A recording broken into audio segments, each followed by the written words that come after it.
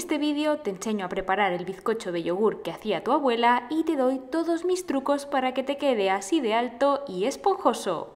Antes de empezar con la receta tienes que preparar tu molde y para ello tienes que utilizar moldes o desmontable o de estos de latón de 16 centímetros de diámetro. Para evitar que el bizcocho se pegue lo vas a engrasar con mantequilla o aceite y vas a cubrir su base con papel de horno. Y una vez listo déjalo apartado para utilizar más adelante. Seguidamente vas a poner a precalentar tu horno a 170 grados con el ventilador apagado. Esto es importante ya que si no el bizcocho te quedará seco y endurecido. Primero empieza cascando tres huevos de tamaño grande dentro del bol.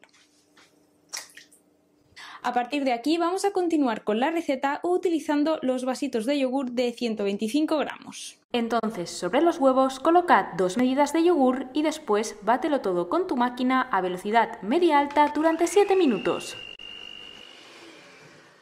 Una vez veas que los huevos han doblado su volumen y se han tornado blanquecinos, deja de batir y añade un yogur. También añade un vasito de aceite. Este puede ser de girasol o de aceite de oliva. A continuación, lava bien un limón y raya su piel.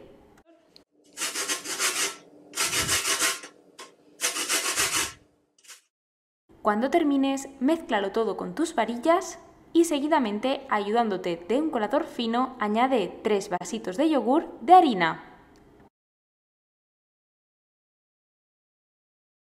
Ahora añade también un sobre de polvo para hornear. Dale unos golpes para que todo se tamice y mezclalo muy bien con tus varillas a mínima velocidad.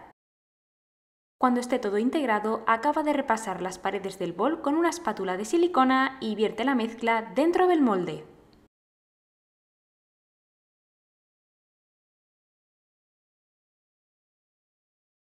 Hornea tu bizcocho entre 170 y 180 grados durante 45 minutos.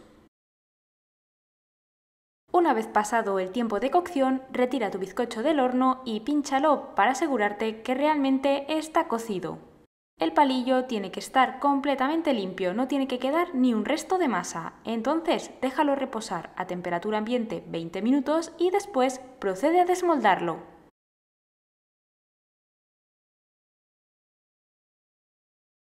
Ahora tu bizcocho ya estaría completamente listo, lo único que te recomiendo que antes de servirlo lo dejes enfriarse una hora. Finalmente, cuando pase ese pequeño tiempo de reposo, decóralo con un poco de azúcar glass. No te pierdas este increíble bizcocho tierno y esponjoso como el que hacía tu abuela. Antes de irme te voy a comentar cómo conservar este tipo de bizcochos y es que lo mejor que puedes hacer es dejarlos bien tapados a temperatura ambiente, que más o menos te durarán unos 3 días. Y ahora sí, yo ya me despido con este pedazo de bizcocho súper esponjoso. Mmm,